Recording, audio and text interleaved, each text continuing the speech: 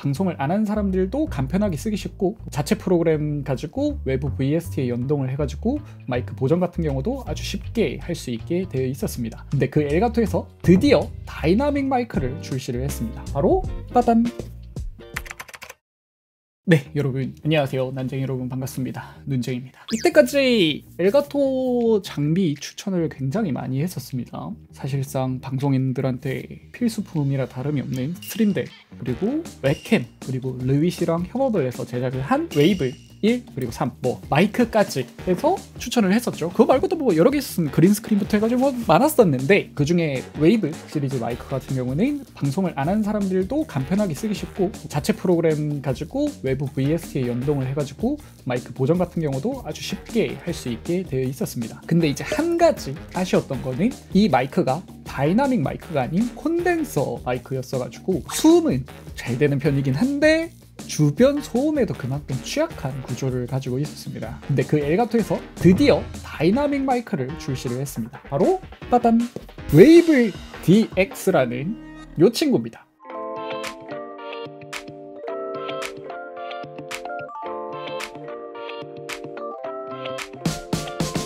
마이크기 때문에 뭐 스펙을 줄줄 읊는 거는 크게 중요하진 않고 실제 소리를 들려드리면서 나머지 뭐 구성이라든지 이런 부분을 좀 알려드리는 게 맞을 것 같아서 일단은 설치를 먼저 진행을 하도록 하겠습니다.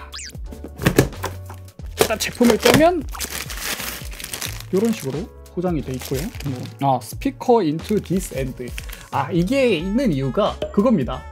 제가 이제 방송 세팅을 진행을 하면서도 이 부분을 착각하시는 분들을 꽤나 많이 봤었거든요. 특히 지금 이 마이크 같은 경우는 좀 생긴 것 자체도 실제 콘덴서 마이크처럼 생기지 않았습니까? 그러니까 여기도 수음이 될 것 같이 생겼잖아요.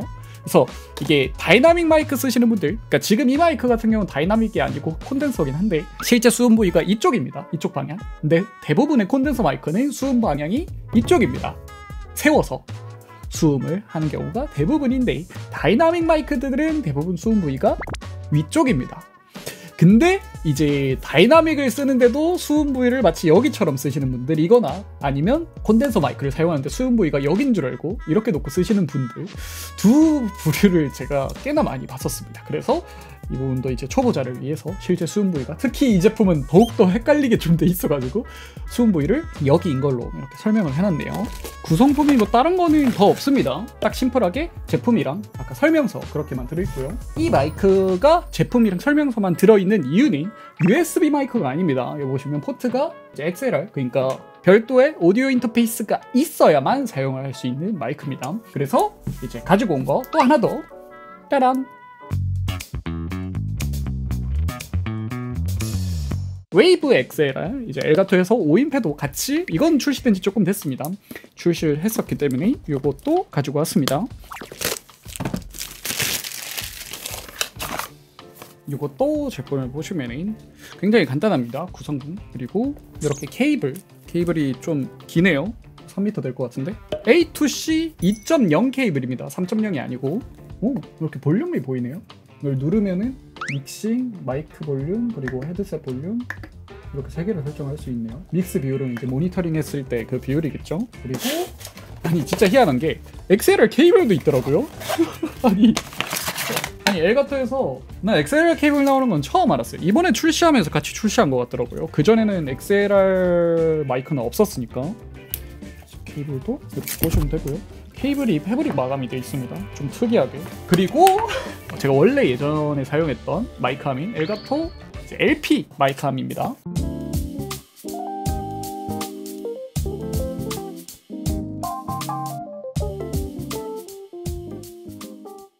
이 친구가 이제 8분의 5 그리고 4분의 2를 사용을 할 수 있어가지고 이제 어댑터를 빼고 사용하면은 그냥 일반적인 마이크 입조 스탠드 그런 애들이 사용을 할수 있고 이렇게 바로 그냥 이 친구에도 꽂을 수가 있어가지고 이렇게 바로 꽂아서 사용을 하시면 됩니다. 이 마이크 무게 자체가 440g이라서 다이나믹 애들이 마이크 무게가 상대적으로 좀 전체적으로 무겁거든요. 뭐 500g 넘어가는 애들이 많습니다. 700g 이렇게도 나오기 때문에 마이크 스탠드를 가리는 경우가 있는데 440g이라서 웬만한 마이크 스탠드에는 다 장착을 할 수가 있을 겁니다. 콘덴서 마이크류들이 가벼운 게 300g 중반 정도 나오고요. 조금 이제 무게가 있는 것들도 400g 다 넘어가기 때문에 보통 그냥 일반적인 콘덴서 마이크 정도 무게라고 생각하시면 될 것 같아요. 여기서 Wave Link 예, 설치를 해주고 얘가 이제 전용 프로그램이고 엘가토 audio effect 이건 뭐지 새로 생겼는가 보네요. Please make sure device disconnected 빼래요. 하고 audio effect 예전에는 이게 별도로 안 나뉘어져 있었는데 나뉘었나 보네요. New plugin found. 오 이제 여기 이렇게 오 연결을 하면은 오 이렇게 뜹니다. 예전에 사용했던 엘가토 Wave에 쓰는 거랑 동일한 친구죠. 오, 와 이거 75까지 올라가. 지금 사운드, 그러니까 지금 소리가 완전 순정 사운드입니다. 완전 수, 아, 완전 순정은 아니죠. 왜냐면 이제 Clipguard랑 low cut이 기본적으로 들어가 있으니까 이 옵션들은 둘 다 비활성화를 하실 수가 있고요. 근데 전 개인적으로 Clipguard는 그래도 켜두는 게 낫다고 생각합니다. 왜냐면 이제 그 클리핑 자체는 안 뜨게 막아줄 수가 있기 때문에 그래도 기본적으로 켜두는 게 좀 더 맞지 않나 생각을 하고요. 그 low cut도 뭐 여기서 넣어도 되고 여기 보니까 플러그인이 있습니다. EQ 플러그인이 있어서 여기에 low cut을 집어넣어도 되더라고요. high pass 해가지고 집어넣을 수가 있습니다. 아무튼 뭐 이런 거를 지원을 합니다. EQ 기본 EQ를 지원을 해서 여기서 집어넣어도 돼요. 이제 제가 기본적인 플러그인들을 지금 좀 넣어봤습니다. 근데 지금 볼륨이 조금 더 크지 않아요? 어, 좀 볼륨이 큰 것 같은데 이렇게 볼륨을 키우면 기본적으로 노이즈도 같이 올라오기 때문에 엘가토 노이즈 리무벌 이 친구를 사용을 하면 되고요. 이 친구는 이제 모니터링에서는 딜레이가 조금 생기기 때문에 모니터링에서는 지금 끈 상황입니다. 아무튼 이렇게 쓰셔도 되고 제가 원래 쓰던 마이크에는 막 유료 플러그인도 막 들어가 있고 하기 때문에 사실상 퀄리티 보정이 걔랑 지금이랑은 비교도 안 된다고 보시면 될 것 같은데 그 RX 보이스 디노이즈인데 그 친구가 노이즈 제거 능력이 굉장히 탁월하거든요. 이 목소리 퀄리티 자체를 크게 깎지 않고 그러니까 노이즈만 딱 날려주기 때문에 굉장히 선호하는 플러그인입니다. 아무튼 근데 걔는 유료 플러그인이기 때문에 여기 넣어서까지 확인을 할 필요는 없을 것 같고 추가로 제가 지금 넣은 보정을 쓰고 싶으시다면은 여기 이제 preset을 export를 할 수가 있습니다. 어, 이렇게 export를 해가지고 그 preset 파일 자체를 여러분들한테 이제 드릴 수가 있어요.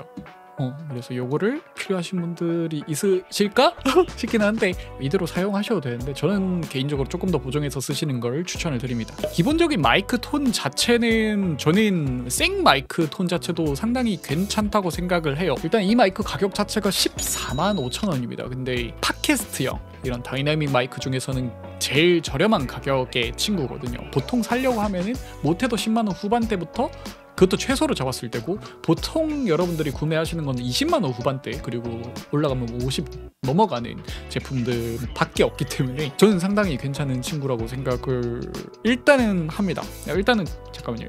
딱 하나만 테스트를 하겠습니다. 이 터치 노이즈 스탠드를 때렸을 때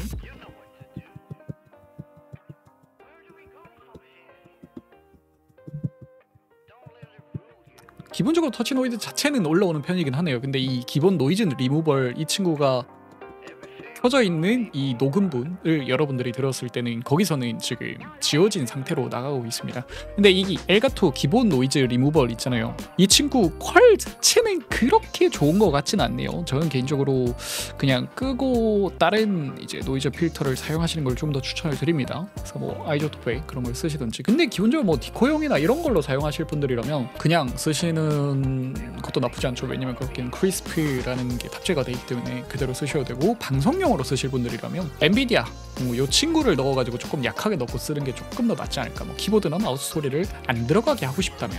뭐 엘가토에서 어, 방송 장비 쪽에서는 원래 캡처보드 만들던 회사였었는데 사실상 이제 커세어에 인수됐고부터는 스트림덱부터 시작해서 진짜 여러 가지 오디오 관련 제품이 출시가 되고 있는데 사실상 방송 장비 쪽에서 딱 얘기를 하면은 이름 딱 떠오르는 게 일단은 엘가토예요. 이 오인페 같은 경우도 지금 상황에서는 사실상 투컴용이라기보다는 원컴용 오인페라고 생각을 하는데 인아웃풋 좀 더 추가시키고 프로그램도 좀 더 다듬어서 투컴용 오인페도 후속 버전으로 출시를 하면 좋지 않을까라는 제 개인적인 바램이긴 합니다. 그래요. 아, 아무튼 여기까지 눈증이었고요. 다음 시간에 조금 더 재밌고 알찬 뭐 제품들 가지고 다시 돌아오도록 하겠습니다.